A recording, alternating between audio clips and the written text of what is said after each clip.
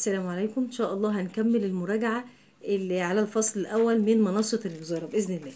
آه، السؤال اللي بيقول عند زيادة قطر سلك معدني إلى أربعة أمثال قيمته مع ثبوت طوله ودرجة الحرارة وضح ماذا يحدث في كل من المقاومة الكهربية والمقاومة النوعية.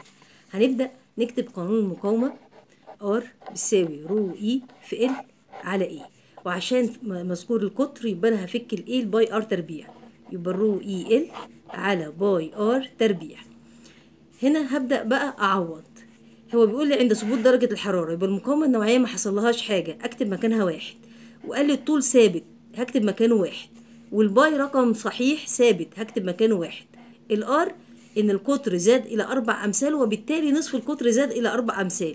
هنا الأربعة عليها تربيع يبقى أربعة لكل تربيع بستاشر.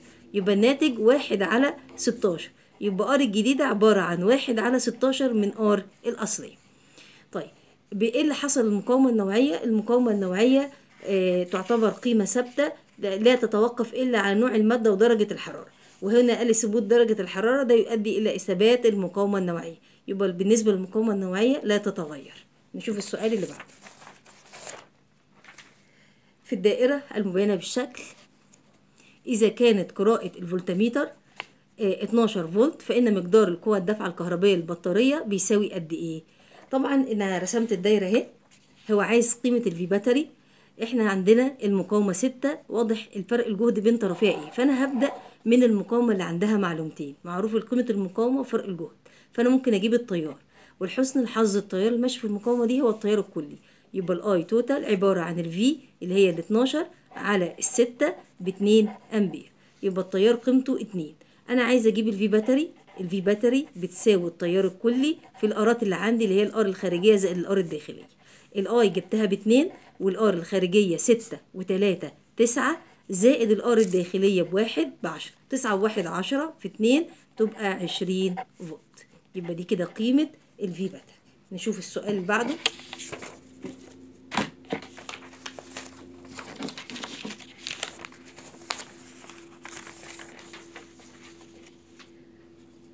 السؤال اللي بعده ده امتحان 2018 دور أول ثلاث مقاومات مقدار كل منهما R أي من هذه الأشكال التالية تكون قيمة المقاومة بين النقطتين X و Y أقل ما يمكن.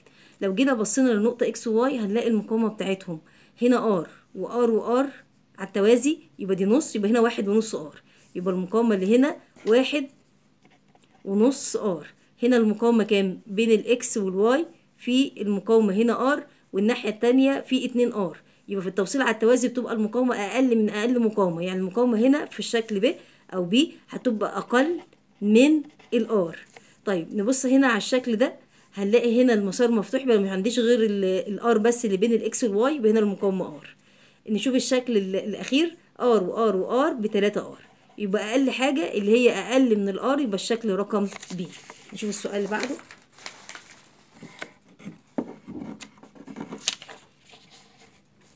السؤال بيقول في الدائرة المبينة بالشكل عايز مقدار المقاومة R مقدار عايز قيمة المقاومة دي اللي بتجعل قراءة الأميتر بيساوي 2 أمبير.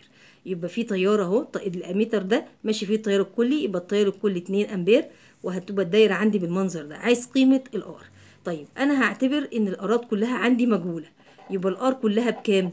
بال V على ال I ال V 10 فولت على الاتنين بتساوي 5 أوم. الخمسة أوم دي توزيعتها إيه؟ يبقى ال R توازي زائد الاتنين هيساوي الخمسة. يبقى ال R توازي هتساوي تلاتة اوم التلاتة اوم عبارة عن ستة في R على ستة زائد R هتساوي تلاتة. يبقى هنضرب طرفين في وسطين يبقى ستة R بتساوي تمنتاشر زائد تلاتة R. يبقى التلاتة R هت... آه، التلاتة R هتروح الناحية دي هتبقى التلاتة R بتساوي 18 يبقى ال R بتساوي 18 على التلاتة فيها الستة أوم. يبقى الاختيار رقم ب آخر سؤال معانا إذا كانت قراءة الأميتر في الدائرة المقابلة 2 أمبير احسب شدة التيار المار في الدائرة وقيمة المقاومة. R أنا رسمت الدايرة أهي. دلوقتي عندي التيار اللي ماشي هنا 2 أمبير. التلاتة دي متوصلة مع الستة توازي. يعني I R في هنا بيساوي I R هنا. يعني اتنين في تلاتة بتساوي ال I في ستة. طب تطلع ال I اللي ماشية هنا عبارة عن ستة. على الستة بتساوي واحد أمبير. يبقى ماشي هنا اتنين أمبير. وماشي هنا كام؟ يبقى إحنا عندنا التيار هيخرج من القطب الموجب هيتجزأ كده هنا واحد أمبير وهنا اتنين أمبير. هيتجمع ويمشي هنا تلاتة أمبير. يبقى عرفت التيار الكلي. يبقى ال I total عبارة عن اتنين زائد واحد بتلاتة امبير طيب ماشي. أنا ممكن أجيب المقاومات الخارجية كلها؟ ال R dash عبارة عن ال V على ال I ال V ب 12 على التلاتة بتساوي أربعة أوم. الأربعة أوم دي بتاعت مين بقى؟ بتاعت المقاومتين المتوصلين على التوازي. زائد المقاومة دي يبقى هقول تلاتة في ستة على تلاتة زائد ستة زائد الار كل ده بيساوي أربعة أوم. تخليص دي اتنين. زائد الآر بيساوي أربعة.